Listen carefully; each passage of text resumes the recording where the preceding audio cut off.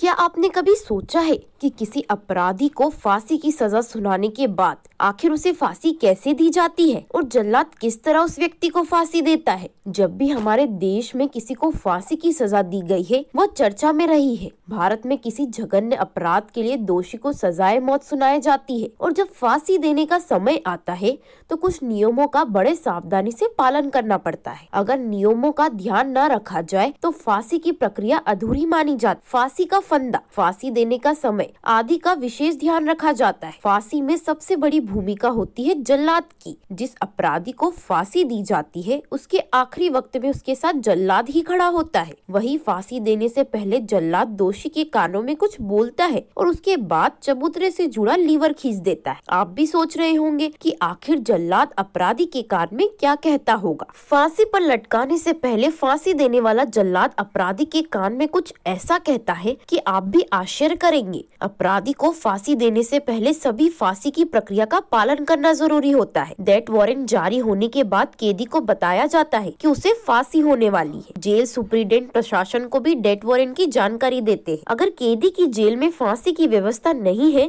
तो उसे date warrant आने के बाद नई जेल में शिफ्ट किया जाता है। फांसी हमेशा सुबह के समय छह, सात या आठ बजे दी जाती है। फांसी का समय महीनों के हिसाब से अलग अलग तय किया जाता है। सुबह के समय फांसी देने का कारण ये है कि उस समय सारे कैदी सो रहे होते हैं। और जिस कैदी को फांसी होनी है, उसे पूरा दिन मौत का इंतज़ार नहीं करना पड़ता। परिजनों को अंतिम संस्कार के लिए पूरा दिन मिल जाता है। फांसी से पहले कैदी के परिवार को 10-15 दिन पहले सूचना दी जाती है, ताकि वो कैदी से आकर मिल सके। जेल में कैदी की पूरी चेकिंग होती है और उसे दूसरे कैदियों से अलग रखा जाता है। फांसी वाले दिन सुबह सुबह सुप्रिंटेंडेंट की निगरानी में गार्ड कैदी को फांसी कक्ष में लाते हैं। फांसी के वक्त जल्लाद के अलावा तीन अधिकारी, जेल सुप्रिंटेंडेंट, मेडिकल अफसर और मजिस्ट्रेट मौजूद रहते हैं। सुप्रिंटेंडेंट फांसी से पहले मजिस्ट्रेट को बताते हैं कि अगर मैंने कैदी की पहचान कर ली है और उसे डेथ वारंट पढ़कर सुना दिया है। फांसी के समय डेथ वारंट पर कैदी के साइन करवाए जाते हैं। फांसी से पहले कैदी को नहलाया जाता है और नए कपड़े पहनाए जाते हैं। फांसी से पहले कैदी की आखिरी इच्छा पूछी जाती है, जिसमें परिवार से मिलना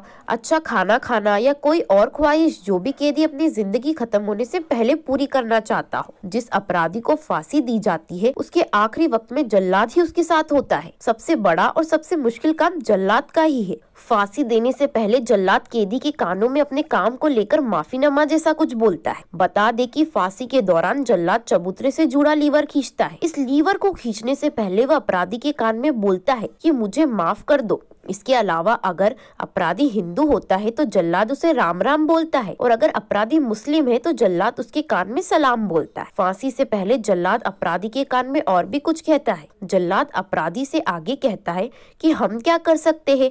हम हुक्म के गुलाम हैं। इतना कहकर जल्लाद फांसी का फंदा खींच देता है। आखिरी वक्त में जल्लाद कैदी के कान में कहता है कि मैं अपने फ़र्ज़ के आगे मजबूर हूँ। मैं आपके सत्य की राह पर चलने की कामना करता इतना कहकर जल्लाद कैदी के पैरों के नीचे से चबूतरे से जुड़ा लीवर खींच देता है। राजीव टाइम्स के पेज को सब्सक्राइब करें एंड शेयर करें। धन्यवाद।